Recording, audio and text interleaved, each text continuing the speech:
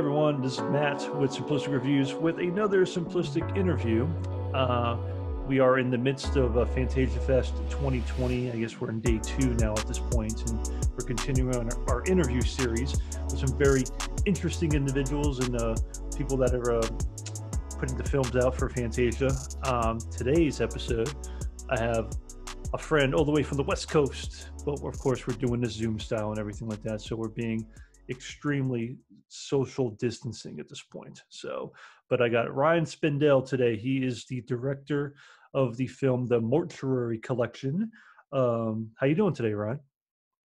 I am doing great. I'm just realizing that I'm still wearing my bandana as if it was a style choice. I wasn't going to say anything uh, to you, but I mean, I, thought it was maybe because you know when people walk by, you're putting up up, up above something, or, or you're just you're planning a you know, you you and the boys are planning a heist later on. I, I don't know. I mean, maybe a little both. Who knows? I'm not going to judge knows? you on, on your on your fashion decisions or your cr- criminal conspiracies. You know, that's not for me to judge or anything. great, great. Well, thank you. I appreciate it. So yeah, so um, Brian, tell, tell. I mean, let's just kick it off this way. Tell tell the audience who Ryan Spindell. You're actually my second interview in a, in a row interviewing a Ryan. So uh, it yeah. also interviewed uh, Ryan, who uh, directed uh, Fried Barry. That's also being featured uh, at Fantasia Fest. So, mm-hmm. what, what stands you out, Ryan, from all the other Ryans out in the world? What, what's your story? Well, I mean, I, I, not very much. We have a uh, a meeting twice a week. It's the Ryan's meeting where we all get together and commiserate over the fact uh, that we're all basically the same person. Um, so yeah, I'm just another Ryan. I've got a beard. Did the other Ryan have a beard? Um, kind of yeah it, it wasn't as glorious as yours Your, yours is okay. a lot fuller uh, okay. If you, saw, if you, saw, mine maybe like a few days ago before I, I decided to take off, we, we could have been maybe rivaling each other, but you you have you have the high ground right now. Okay, cool. Well, I, I'm I'm just like the other Ryan, but with a bigger beard. there you go. Perfect. oh, well, um, I checked out uh, Mortuary Collection. Uh, it's something that you've been kind of shopping around already because I know it, it, came out. Uh, what was it like mid 2019 or late 2019? Because I know it's been at a few of the other festivals, and now it's landed, you know, north of the border up in Canada and everything. And uh, um, reading some publicity about it, I mean, it had a had a great following. People were super stoked about it. I know I was because I just I absolutely adore just anthology horror films. I think they're the most fun. They're the most bang for your buck. You know, if there's one story you don't like, there's a chance you're going to like the other stories. And with a good wraparound, it, it just works in so many levels. So it brought me to those Tales of the Crypt days, those Tales from the Dark Side days. Um, every everything about it just kind of got me back into my childhood of of watching Creepshow and stuff like that as well. And uh, um just what, what, what, was well yeah i mean i i sorry i'm like gushing uh, i'm i'm, I'm like crushing no go right no please yeah, no it's like don't worry i'll take i'll take care of this interview right now i'll just talk i'll just talk for you. But um what was the uh, what was the road to uh kind of making mortuary collection and what was you know what's your i mean obviously you're a horror fan so what what was your genesis? What was your your kind of uh, your birth of loving the genre and kind of coming to this point where you're coming with a full length film like like uh, the Mortuary Collection? Oh man, that's a long story. Um, I, I know that's, that's I mean, a loaded question. No, I mean it's a, this movie in particular was uh, was it's almost ridiculous. I it, it's almost such a long process of getting it made that I when we first finished it, we were sort of debating like, do we even get into like what it took to to sort of put this movie together over the past eight years? Or do we just like pretend we just sort of we just did it like on a whim? Uh, and i think we came to the decision that it's better to sort of talk about it because again, this is sort of like what we were talking about when we first sort of got on the call is that, mm-hmm. uh, you know, it's easy. A lot of filmmakers filter themselves because you have to be careful uh, when you're talking about your movies. But the, mm-hmm. the fact is, is that making movies is incredibly hard. And I think for other filmmakers out there, it's, it's helpful to see that we're not alone. Mm-hmm. Um, so, uh, but I, before we get into it, I, will answer that question, but I actually had a quick follow question for what Ooh, you were saying. Me, okay. um, you we were talking about I, am obviously a huge fan of anthologies I, mm. I, love them with all of my heart uh, and uh, i agree that i my whole thing with anthologies growing up was always if there's one segment uh, that kills then I'll, I'll I'll remember that anthology as being something awesome. Like I remember always loving Creepshow too, even Mhm. though because of the raft. The um, raft, yes. Okay, and that's the one. I mean, you had one. You had a one of three chance of picking the right one, so you. Yeah, yeah, yeah. one, It's because Chief Woodenhead is the best segment anyone's ever seen. the best anthology segment ever. but it's interesting because I I watch I, I still watch you know I watch Creepshow one and two, at least a couple times a year. Mhm. And um, Creepshow two is has got some pretty weak segments in it, uh, other than the raft. But in my mind, it's an awesome movie because I love that short so much. Mhm. Um, but on the flip side, some people seem to go the other way. Some people seem to think uh, if there's a segment that, like I think Guillermo del Toro said, anthologies are only as good as their worst segment. Mhm. Um, uh, and so I'm just wondering where you land because I land on I'm the optimist. I'm like I, I need Yeah. one good thing, and it's a movie I love. Um, Mhm. wh- how do you feel about that? I mean, it, it's tough. It's like within an anthology, I mean, I'm always going to be committed to it just because I like the subgenre that I'm going to get multiple stories and usually a really interesting wraparound story that kind of brings everything together at the Mhm. end. And I guess in the case with Creepshow One and Creepshow Two, if you're just going to keep using that as an example, um, from top to bottom, and there's you know the weakest one. I mean, and people might hate me for in Creepshow One, the the um. Uh, the Ted Danson one, the the, the, the tide, the Uh, tide's what coming. tide you over? Yeah, what what something to tide you over. I mean, Yeah. everybody thinks that's the weakest one, and in so many so many ways it is because it also is like the the the short right before the the crate, which is my absolute favorites. Uh-huh. Everything from the music to the, to to Fluffy to Hal Holbrook, and we've all been there before. We just want to kill our wives or Yeah. girlfriends. How can we do this? Like, good thing I found an animal, uh, a, a uh, almost a prehistoric animal underneath uh, my uh, um, in a crate underneath the uh, college at Horlicks College. but uh, but even with that being said, I mean, and, uh, it, it's it's so difficult to take one thing and say screw it. I mean, I, I'm I'm out because one thing is bad. There's even there, and even with all the stories that are kind of weak, there's always like Mhm. one part that you know, even something to tide you over. Leslie Nielsen is great. I think he's hilarious Awesome. Yeah. and he's Yeah, yeah, yeah. fantastic. And if I if in if I could take one thing away from it, it's like perfect. That's the one right there. Um, Yeah. And then even in Creepshow too, you know, it's only three stories, and I I think my disappointment in that was that it went from like five stories to three stories. I'm like. I'm, I feel like I'm getting gypped here. Like, come on, you're not being It's true. fair. Where are the other two stories in here? I wanted five, not not not three. Um, It's true. But, but then you know, Tales from the Dark Side. That that's a three that's a three part story too that has a really fun wraparound. Mm-hmm. Um, it it's hard to it's hard to really make a bad anthology unless you just have stories that just are not not compelling or just they're too short of the i mean even bad acting can have some good parts you know i, I look at Creepshow 3 and people are like there's a Creepshow 3 it's like yes there is Yeah. it's not very good Yes. it's uh, kind of a mess uh Yeah. it's kind of the thing that would maybe if you watch Creepshow 3 first like why do people like anthologies these things suck it's like Yeah. No, that's true. And I, I, I mean, I've, I, I studied a lot of them. I mean, most of them uh, in the early days of sort of putting this movie together. And um, like the thing about Creepshow, which is you know one of my favorite movies of all times, Creepshow One, Mhm. um, is that I I can't even watch that movie without uh, without the lens of nostalgia. So I, I can't I can't really see that movie um, critically anymore because of like what it means to me as a person. yeah Um, but I will say that, like, just the, pinging off of what you're saying about um, to tide you over.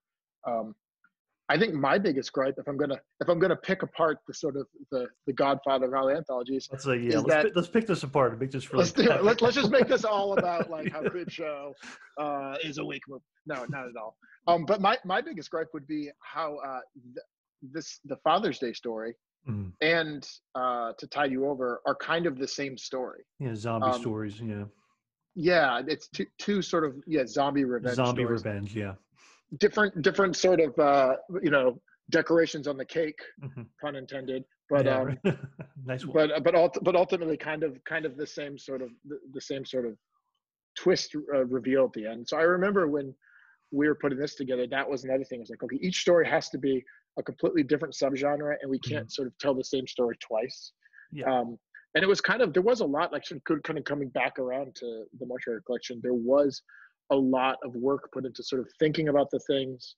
um, that I love the most about anthologies and thinking about things that sort of always bugged me or, or always were sort of underwhelming and really trying to go after that. Um, so the first thing was the wraparound what you're mm-hmm. talking about. I, I, I love, you're, I agree. The Tales from the Dark Side is one of my favorite wraparounds, yeah. especially for an American film. Mm-hmm. Uh, and then I'm, I'm a, I, I did, I watched a lot of the Amicus films uh, from the 70s, which also oftentimes had one director and, and sort of, they also put a ton of work into what the sort of framing device was. Yeah. Um, I remember Asylum. Have you seen Asylum? Yeah.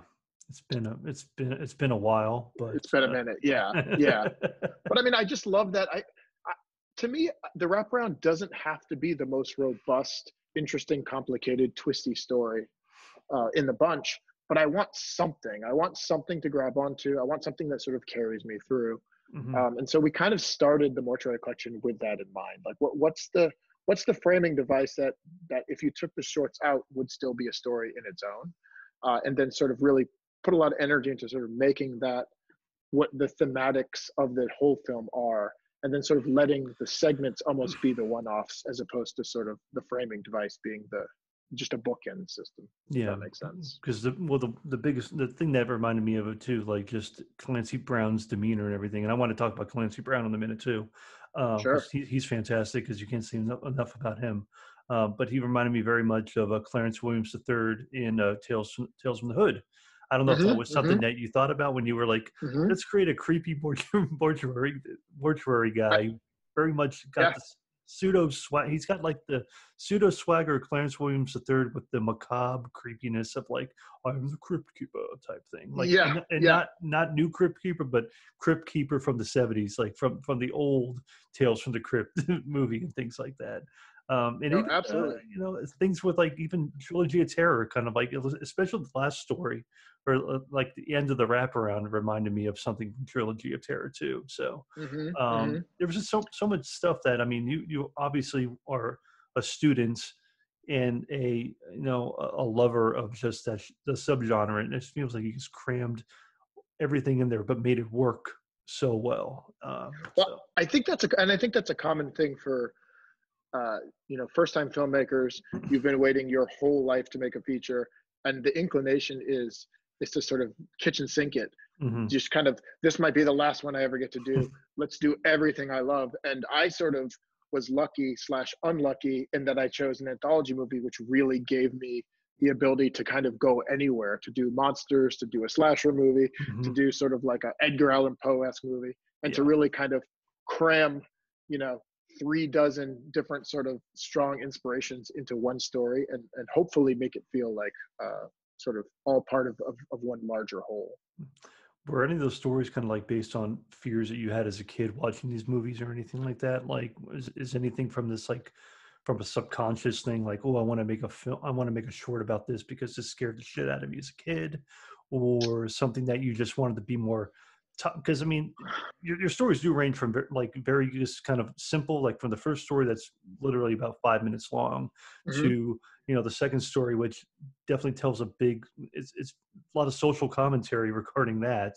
Mm-hmm. Then, like you know, you're, you're from your Edgar Allan Poe uh, uh, kind of feature, and then into mm-hmm. your slasher into your slasher feature. Um, was there anything kind of like purposeful to make making those four films? Like, what were you trying to say? Maybe about all, all, all four of the shorts. Well, it's interesting. I think I, I think it started off um, from a pure fun factor perspective. It mm-hmm. started off with what do I love about Creepshow the most? What do mm-hmm. I love about Tales from the Dark Side? I love that they're fun. I love that they're cheeky. Mm-hmm. I love that they're sort of unexpected and wild. And so I the first pass of the script was that. It was like let's just make a movie that's fun, I don't. I'm not putting nothing else into it. Just yeah. I don't even care that much about characters. Um, each character will be an archetype of a character from something else I love. Mm-hmm. Um, and so that was sort of the the beginning. But then once we sort of had that script in place, I was like, well, if I'm watching all of these anthology movies and I'm sort of like picking apart what I like and what I don't like, I don't want to make an homage movie. I want to mm-hmm. make a movie that sort of is a love letter too, but is of its own sort of uh, sort of its own creation. It's, it's something something that like sort of stands apart. Uh, and then I started really thinking about the characters, and I started trying to understand like what um, what is it that would drive these characters uh, to make these sort of over the top decisions, mm-hmm. and how can I sort of infuse these stories with um, some real ideas and, and real sort of elements that mean something to me without being preachy about it yeah. and also without losing the fun factor and that's where the balance kind of comes in that gets tricky because the more you develop a character like um, in the second story the sort of the womanizing frat guy yeah um, I, I, was sort of adamant that I, I, I want this guy to uh, to have sort of some human aspects to him and then i was sort of getting some blowback by some people who were saying like look this is an anthology these are morality stories people want to just see someone who sucks get their comeuppance. Of, of and I was classic. like, classic, right? And I was like, well, yeah, but I've seen that a million times before. Like, how can we, how can we sort of give him some sort of depth and make him someone who's an interesting character, um, and still have the sort of same result? And then I, I, when I once I did that, I actually got blowback from people. They're like, well, now you're empathizing with this really shitty character, and I was like, have you seen the end of the movie? Like, I'm not empathizing with this character. Like, he gets exactly what I think is coming to him. If not, I worse, just yeah. kind of yeah, yeah. I just wanted to sort of try to layer something else in, in into the character along the way, so it's not it's not black and white. And I think that's what's interestingly the the kind of this actually is coming back to your initial question about mm-hmm. sort of how this all came to be, but um, this movie sort of is this. There's these dueling personalities in the movie. Uh, there's Montgomery, who's this sort of the mortician who runs mm-hmm. this uh, this place, and he has this sort of antiquated idea about what story should be mm-hmm. and what sort of and, and and and Sam is sort of the opposite. Sam is yeah. kind of the this new plucky kind of like ah I don't like your stories. They're old fashioned. I want something unexpected. I want to yeah. merge genres. And so the two of them are sort of battling. And in a way, I think that's sort of maybe two sides of my own taste as a director. This is all stuff I've been figuring out literally in the past couple weeks. Mm-hmm. But it's sort of my my love of the classics and the sort of the archetypes and the sort of these morality stories that stand the test of time. And then this urge as sort of a younger filmmaker to be like but i want to change it. I want to twist mm-hmm. it i want to surprise people. I want to do this. And it's kind of this butting of the heads of the two um, that kind of creates what i think is this sort of uh, morally ambiguous interesting thread that kind of weaves yeah. all the way to the very end. And whether or not people are going to pick up on that kind of stuff um, with an anthology movie on their first viewing i don't know um, but it's definitely there for anyone who wants to sort of look a little bit deeper. Yeah, because I mean, you think about just classic anthologies. I mean, none of them are very transgressive in terms of like, you know, maybe the violence could be excessive. You're like, oh my god, you know, this guy got his head ripped off, or this, right. you know, this person got their heart ripped out, or something. It's like, okay, well, that can happen in any horror film all the time. But when, when to your point with, I guess Montgomery and Sam having a, you know, a butting of the heads of well, this is the old fashioned way that we used to do things back in the 80s. It's like, well, I don't want this anymore because this is a new age and we're bored with your old shitty right. telling me like what's right, what's wrong, the bad guy always gets it, the good guy always wins type of thing like that. And just kind of mixing that up and kind of stirring in a pot and making it a little bit different and crazy. Right.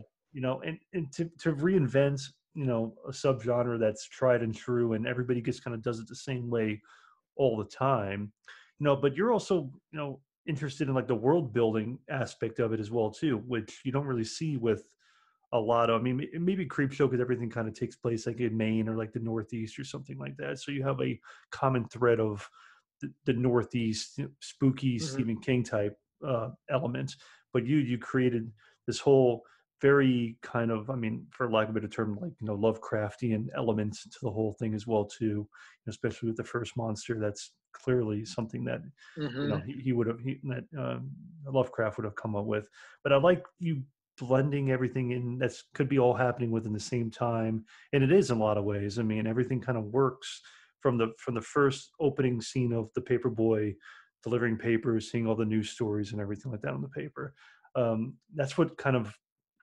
attracted me right away because there was something kind of more interesting going on than just like here's a bunch of stories you know mm-hmm. we're gonna sh- throw some shit at the wall and see if it sticks mm-hmm, um, mm-hmm. everything mm-hmm. worked so fluidly and kept you vested in, interest very vested in the in the story and then at the end you're like, oh wow, okay, I remember that from the beginning. So Mhm. I mean, I think just weaving your story and weaving your world and leaving it open to do more of this if you really wanted to.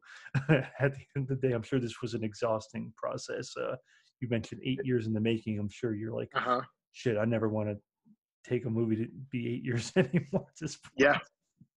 Well, I mean, I think I, I, that's what it's all about. It's it is the world building, and um, that's the kind of stuff uh, that I love uh, in- in all of my projects, honestly. And I mean, there are there are world building threads in this movie that connect to everything I've I've ever made. Honestly, the even even the brand, the brand of the products in the movie is actually this. Uh, uh, Finkelman's, which Oh, is yes. a this is actually this hat is a prop from another project that I did for uh, Sam Raimi, um, this this show called Fifty States of Fright, Mm, um, in which I'm even taking my weird eccentric world building and like cramming it into other projects that I'm working on that aren't even under the umbrella. So I, I just love that kind of thing. I mean, I think filmmakers like Edgar Wright, who infuse so much detail into their movies, I think mhm. the movies that you can watch again, Peter Jackson does this too. Yeah. Um, the, the movies that you can watch again and again are the ones that I'm the biggest fan of because I just feel like there's so much more going on. There- There's the one off, there's a lot of like, especially like ghost movies tend to be scary one time and then you're Yeah. kind of done with them. Yeah. Um, but, uh, but I'm interested in sort of this pastiche that gets richer as you watch it more. Uh, and I don't know why it's, it's, it's just a, it's just a straight nerdy, like it's what I love to see. So it's what I do Mhm. um, but it's a lot of fun and it's it's sort of uh, this movie in particular i think there's there's something almost in every single frame uh, and if there isn't something in the frame it's only because budgetarily we were unable to do something we had planned Yeah.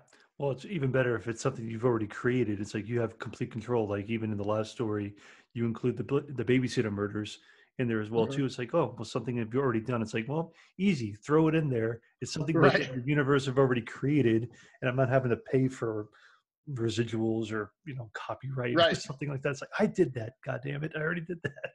right and there uh, the the the mental hospital uh, in the babysitter murders Kirksdale Mhm. um, Kirksdale is the name of the mental hospital in my short film Kirksdale that i made way back in 2007 Whew. in film school. And there's threads that even connect to that. Like it, it it it goes deep. It goes deep man. I don't want i don't want to i don't want to get into it I Too mean, much. uh, hey, I mean, I don't, I don't want to stress you out about going too deep. I mean, I mean, you're talking about mental hospitals. We have to sit on the couch and have to exactly talk to me about these deep-seated, you know, what what's really going on uh, in that in or something like that. now, um, we, we we alluded to this earlier, and it's kind of switching gears a little bit. Um, I want to talk a little bit about uh, Clancy Brown, of course, because Mhm. you know he's he's your I would call him the star, star of the, or star of the film. Um, Yes. you know, by, by by all means, and also he was an EP uh, for, in the film as well too. Um, now, was this something you kind of pitched to him, saying, "Hey, I really want you in this film. I respect your respect, respect your work from Starship Troopers to Shawshank Yep. to being the voice of Lex Luthor and doing everything else you've done in your illustrious career." Yep. Um, and it's it's great to see that he still likes to do these genre films because I guess it's something that he's you know he's always done in his life, and Mhm. I think he's great as just like this tall man esque Clarence Williams crypt keeper kind of guy going on a little bit. And um, just what was it kind of like getting him on board? Was that a chore? Or was that like here's the pitch? it was jump in. it, it wasn't it wasn't uh, i mean this kind of goes back to the genesis of it but i, I wrote the, the whole feature in 2012 and when i realized that an anthology movie is very hard to get set up i decided to take one short out and make it and Mhm. so the babysitter murders the, the the final story that was the, sh- the most contained short in the project so we did a kickstarter and we financed that and we made that short and Mhm. uh, the short did really well and did the festival circuit um, and so what ended up happening was uh, you know n- no studios were interested in anthology because they're still very difficult to sort of get financed in the traditional way Mhm. but we did find independent financing um, and you know there was there was a minute where i was like ah, we spent all this time making the short and nothing's coming of it but then i realized like once we were actually making the movie with someone like Clancy Brown, I could send him the short. I didn't have to send him the script with like a pitch and like get in there and song and dance him because I could sort yeah. of send him this piece of material and say, this is not, this isn't like what the movie's going to be like. This mm-hmm. is actually a part of the movie. Yeah, We're going to put this is this like proof of concept, basically, or part of the proof of concept at least. Yeah. So, so I'd, I'd that helped us sort of bypass a lot of the sort of gatekeepers and kind of get right to some of these amazing people. And of course, with Clancy, I still had to go to a diner up in North Hollywood and like sit down with him and basically prove to him that I was like able to handle this thing. And he's a giant person with like yeah. huge hands and this voice all the time. And he's like so cool and like so like calculated with everything he says that it's intimidating as hell. But within a few minutes of us sitting there, we started talking about science fiction, and I was like, "Oh, he's also like a huge nerd. Perfect." Thank God. Just, yeah, and he and and like we got along like gangbusters, and you know we went up to Astoria, Oregon, to shoot with him, and this is a guy that that's worked with the best directors in the world, mm-hmm. uh, and that's an intimidating thing to sort of go and go into set and have your first actor be this person that's worked with everyone. Uh, and I, I, never once felt any sort of uh, I never once felt any sort of um, bravado or, yeah. or, or, or, feeling of superiority. He was the coolest guy on set. A couple of fans came in to set who were big uh, um, Highlander fans, and he was like, "Come on in, let's take a tour of the set." Like he was, ju- he's just the coolest guy in the world, and it's like it's one of those things you hear about, but you don't ever expect you're gonna get. Uh, and it, it, made making the movie for me, just personally, uh, such a great experience. What, what was he like? What was he like on the set? Was he just like very? Was he commanding, or was he like very easygoing, or was he just kind of like was he joking, or was he like uh, uh in in between takes? You know, what, what, was he kind of like a perfectionist? Uh no, he's real loose. He's real cool. He's a real, he he's a real like cool he, dude. He would be though. So he is. He's he's he's intimidating aesthetically, but he's so cool and just chill all the time. That like honestly, even if he was upset with me ever, I don't know if he would have showed it.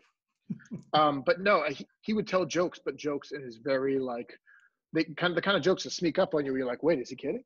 Oh no, he's kidding. Okay, that's a good one. Very droll. Um, but he also he was working with Caitlin, uh, who plays Sam, mm-hmm. and she is uh, she's not a new actor, but she's you know she hasn't done a whole lot, and he quickly sort of created this rapport with her, and, and sort of they really enjoy working together, and he kind of took her under his wing, and I think the two of them um, it, just, like in the movie where they're playing these two these two different sort of character types they're in real life they kind of represent this. She is young she is new he's been around and watching them their styles butt heads while their characters are butting heads was actually like one of the most amazing things. My, my only regret would be that it was such a small budget film that we didn't have time to really explore sort of where those characters could go because every every shot was so specifically like we need this and then this and then this. Mm-hmm. go we need this and then this and then this.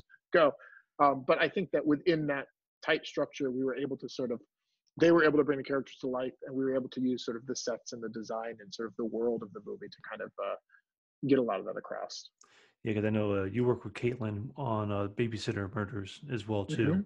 And uh, mm-hmm. yeah, she does have that like plucky. I can see her, you know, as just like like a Jamie Lee Curtis type character and stuff like that. Totally. Think, you know, she has that kind of un, un, understated badassness, but won't take shit from anybody, you know. And she does. I, and I can see that, you know, especially in, in the in the wraparound when they're going back and forth, you know, they're kind of butting heads. And I, I wonder if uh, was all that scripted, or were, were, did you allow them some freedom to kind of like go with the flow a little bit on what they were saying back and forth, or was it kind of like a little bit of both? I guess. Um, it was pretty scripted. I think what I like to do is I, uh, if I have time, I had a little bit of time on this one, like mm-hmm. six hours or something. Um, but what I really love to do is I, I, sort of bring the actors together and run the scene, and then I just sort of let them riff, mm-hmm. and we kind of see if we can find some gold in there. So something that like you're sitting in a room, you're sitting at a coffee shop, you're writing a screenplay. Um, it's very easy to sort of fall into sort of these single small ideas and i like to get my actors together and sort of let them sort of say sky's the limit and then um, when that happens you inevitably find these great little nuggets that you can sort of build on and so then once we sort of do that for a few hours i'll actually go back and i'll rewrite the script based on those conversations. So there's like there's a little bit of their life in this in the script, mm-hmm. but again, it was like it was such an intense schedule with this one that we didn't have a whole lot of time to improv, and it, and it's it's a it's a regret that I sort of have. Um, something that couldn't be avoided, but it's something that I'd love to do in the future is, is just have the time to play a little bit more because I do think that there's so much magic that comes out of that. No, I mean, it, it, if it's organic, because it, just seemed organic. It seemed like you know they were witty back and forth, and some of the faces he makes when she says what she says, it's, it's kind of like his complete disdain. I, mean, I know that's part of his character, but he's also like, this, yeah, this fucking kid. I can't even. Yeah, saying to me right now. and the interesting thing is, both of them, I like. I I'm with both of them. Like I, I'm when when Montgomery's like talking about how the the classics are the best or the classics for a reason. Like I mm-hmm. agree with that. I love the archetypes. I love the the old format. But I agree with her when she's like, but it's kind of old. And I think like like so one interesting thing is you're talking about sort of the world building in the newspapers um, at the beginning of the movie. Originally the the medicine cabinet story mm-hmm. was not in the script. It, that okay. was actually um, the first story was a fully robust like 20 page story. Okay. Uh, and then as we were getting to the making of it, we quickly realized um, there's no way we can afford to make another story. We're like not only financially like to to shoot it, but also mm-hmm. just runtime wise, because the movie's already clocking in like almost two hours. Yeah. And so we had to lose that story. And so I actually put clues, little bits about that story in the wraparound. So as if that story is still happening uh, mm. in the mm. background of the town, but we haven't seen it. Um, but then we got to this point where the producers were like, well, we need a story here. You have to write something very short and I was like, okay. And I, I was like, I really want to do a monster. I need a monster. There's no monster in here somehow. Let's do a monster movie. So I wrote this monster movie and I finished it and I looked at it and I was like, this isn't a substantial story. This story is not satisfying to me. and so then I was like, but actually it does set the tone really well. It and does it kind of really sets up what our overarching premise is, which is like this debate about what makes a story. Mm-hmm. Um, and so I just took literally my own inner issues with the short and just crammed them right into the movie. Like we're gonna uh, and, this work. Yeah, yeah, and and and uh, like now I'm I'm really happy about it because I didn't think about it till afterwards. But most anthologies, the shorts are the same length, so it was kind of mm-hmm. interesting to shake up the the run times and kind of throw people off a little bit. That that threw me off in the beginning too, because I mean the beginning with the start of the wraparound, and then you have this one story, and I'm like, damn, that, that was really short, and it cuts right back to the wraparound. I'm like, is this going to be multiple very a bunch of shorts, yeah, like short shorts, or is yeah. this going to is is what is this setting up? But I think looking back in hindsight now, it's one of these things where he's you know he here's your classic story. The bad person gets comeuppance. And she's like, this is bullshit.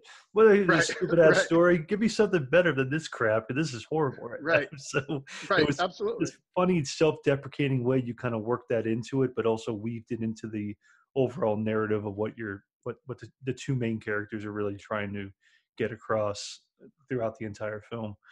Um real quick, um just want to talk about the gore effects because I think they're really all, especially in the second story. I mean, it went places in the second story I didn't really expect it to go, uh, mm-hmm. and I and I do appreciate the fact that I believe what, what do you say about 90 95 percent is probably practical with with with throughout the entire film. I would say. I mean, I guess maybe, maybe oh yeah, the monster and stuff like that, but that the, the, the second story and then the big you know the big uh, splooge, if you want to say, almost uh-huh. in a uh-huh. lot of ways at the very end.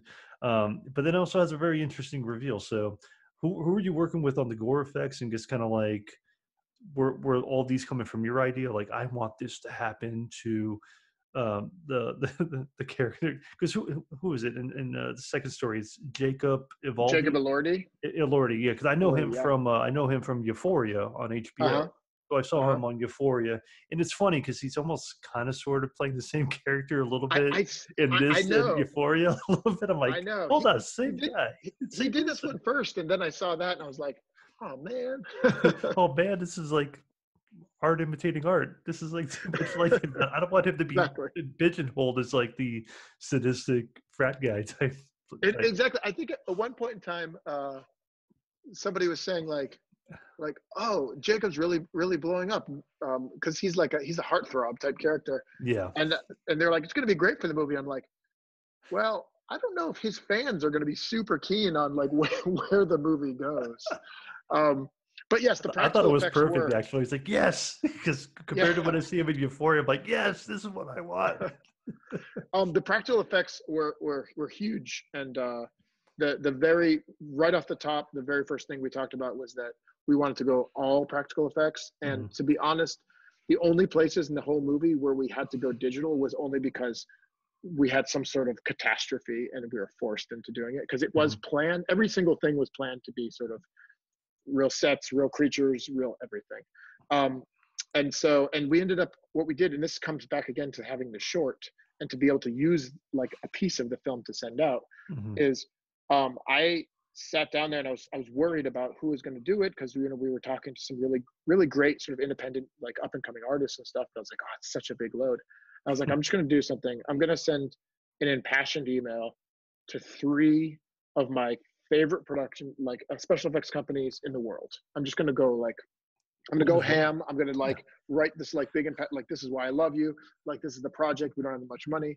Uh, and two of the three of them got back to me um, and uh, one of them was Spectral Motion, which um, they couldn't do it schedule wise, but they mm-hmm. loved it. They they're very sort of uh, complimentary, and they sort of pushed me in the right direction. But the other one was K and BFX, mm. um, who who who are known for Starship Troopers and Tremors and uh, the Alien versus Predator and all of these like insane like Death Becomes Her yeah. like movies that I've just been like obsessed with my whole life. Um, and they watched the short and they they loved it and they read the script and they loved it and they sat down they're like how much money do we have? And i told them and they were like we don't love that but we'll do it. And it, they sort of they, they got right in the trenches with us and it even got to the point where um, alec gillis who's the, the guy who owns the company i mean mm-hmm. he's he's a legend and he's been um, he's he, he just runs the place now. He's not like necessarily a guy who gets in the trenches, but mm-hmm. he was on set puppeting tentacles like a wild man on this movie that we made for no money. And I was just like standing here watching Alec Gillis and this amazing crew of people like create like a practical in the room tentacle monster.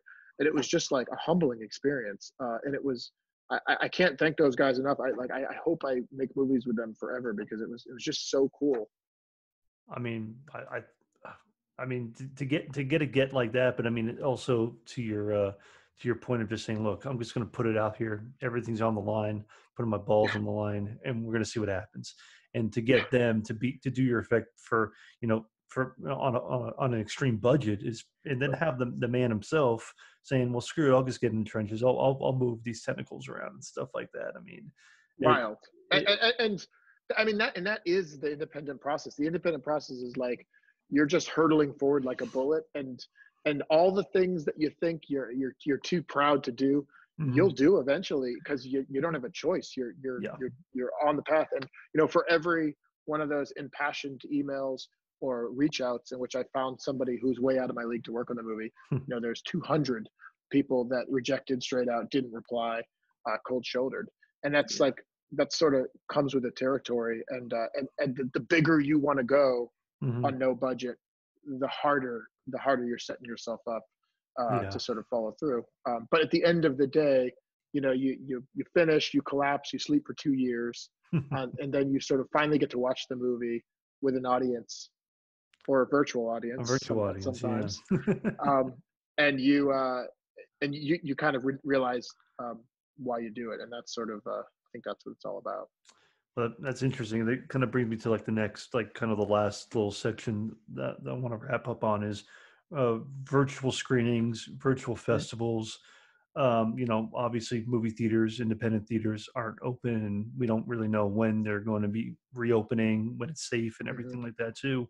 What what's the kind of has it has it been disheartening to you to not be able to completely see this with packed audiences or maybe even before everything kind of went to shit you know the world went to shit you know you got to see it maybe with a few screenings with some people mm-hmm. and then what what do you like what do you kind of see the future i mean obviously hopefully this won't last forever or anything like that we can yeah back to back to work. We we all want to do that, but um, I mean, what's been the kind of I don't say fanfare, but what's been kind of like the response to the film now that you haven't been able to really screen it the way you want to have it screened, basically?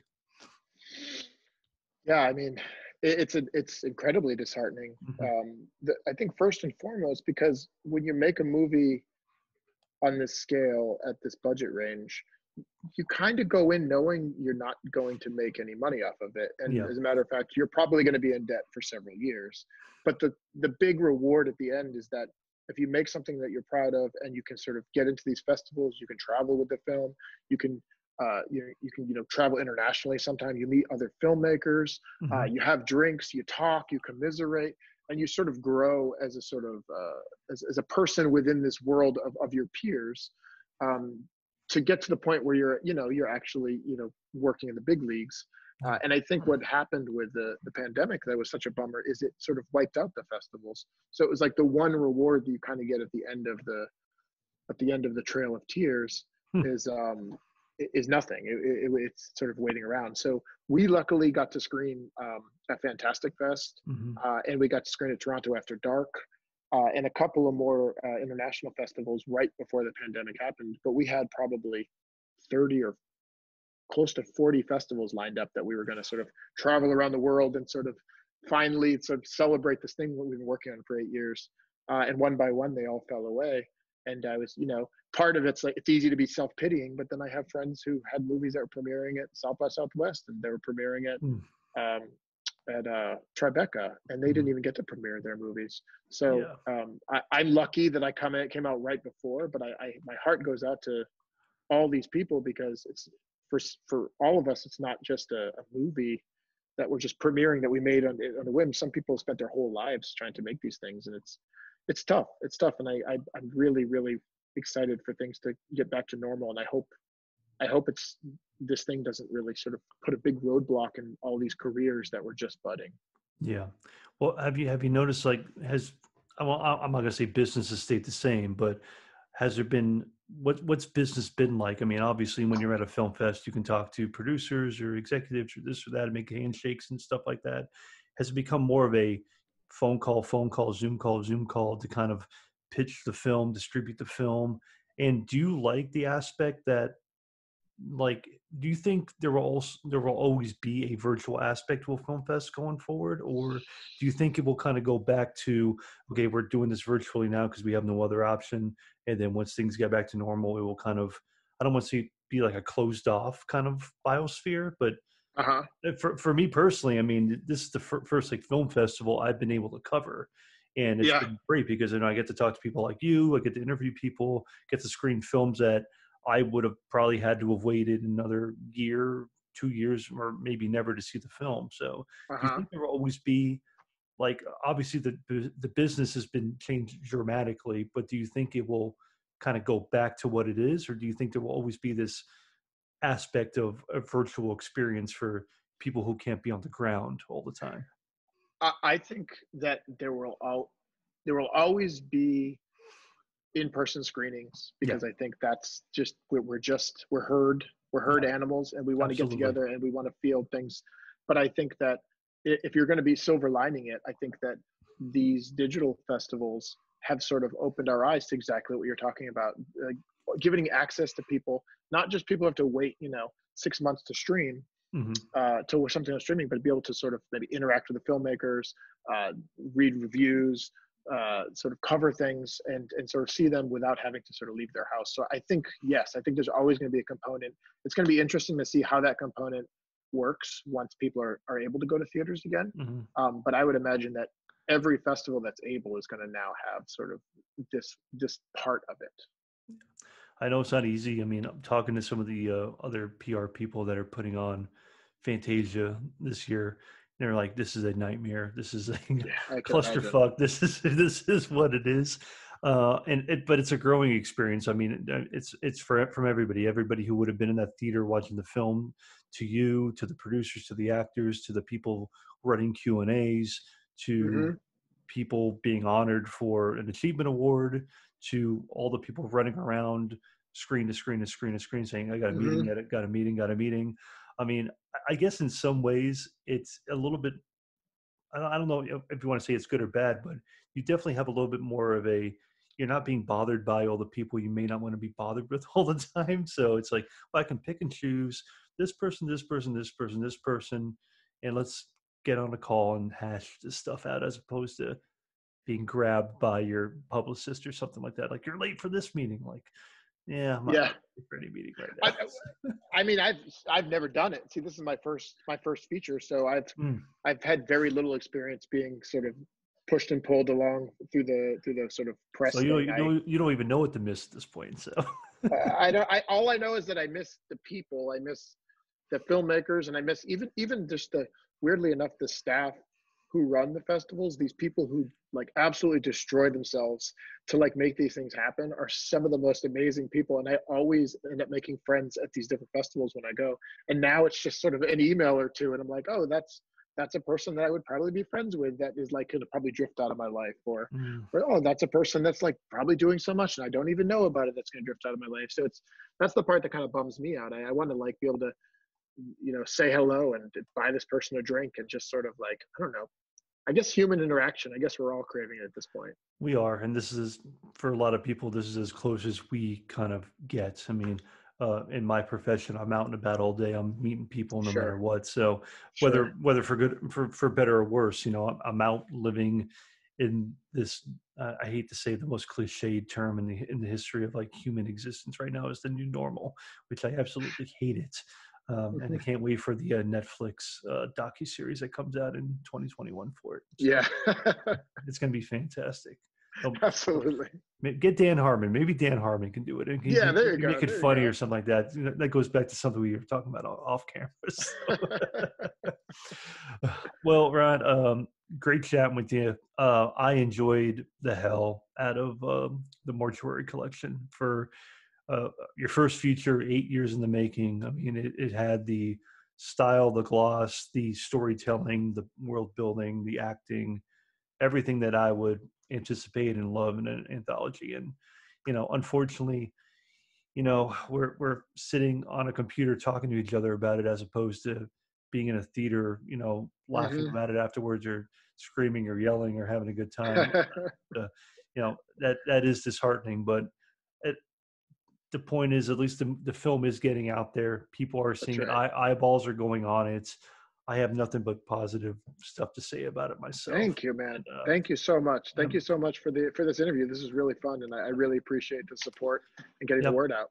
Well, if there's i- in closing, is there anything else you want to say, kind of about uh, about the film? I mean, we know we all know it's uh, on demand at uh, Fantasia Fest and everything, but is there any any parting words about the film? Uh, no, I think it's just. I think it's it's a it's a movie um, for people who love movies. It's a, it's a it's a celebration of stories and storytellers, um, which is sort of filmmakers. It's all of us. We're all storytellers, uh, and I think that there's. Um, it's for horror audiences, but I hope that uh, non-horror audiences can appreciate it as well. I think there's a little bit of something for everybody.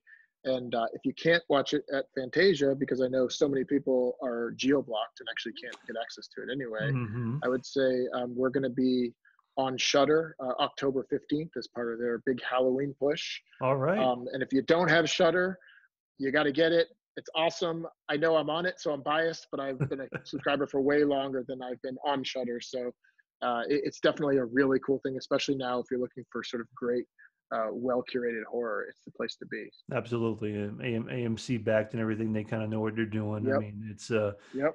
it, it, they they they just continue because I know that. Well, congratulations to you getting on Shudder, getting distribution Thank on you. that. So all, all of our North American friends. I'm in, I'm in Nashville, so technically I'm geo blocked from uh, watching the, the film as well. But I have my ways and means. So Right, right. I'm part of the press. Damn it! I get what I want. So. but um, exactly. congratulations on that. I mean, I know Shudder just did like a big kind of bought up a, bought up a couple properties, so to have you Yep. guys part of that is pretty damn amazing, and maybe one less thing to worry about for you right now at this point. It's like, yeah, whew, at least it's streaming somewhere, so it's out in the world. it's exciting. No, I'm, I'm just ready for it to get out there. Well, people are going to be super super stoked for it. All, all, the North American audience and international audience will be stoked. All the Canadians who have already seen it up there, I'm sure they're yeah. that thing. So, well, um, thanks again, Ryan. Really appreciate the time. Um, and I'm Matt. This was another episode of Simplistic Interviews. Um, if you have any comments, questions for me, email me, uh, matt at simplisticreviews.net or contact at simplisticreviews.net. We're all over the internet as well, too, every social media platform. Uh, do you have social media platforms, Ryan, that you want to throw out real quick? I do. I do. I'm on. I'm on the, the Twitters and the Instagrams. Oh, okay. What's your What's your handles?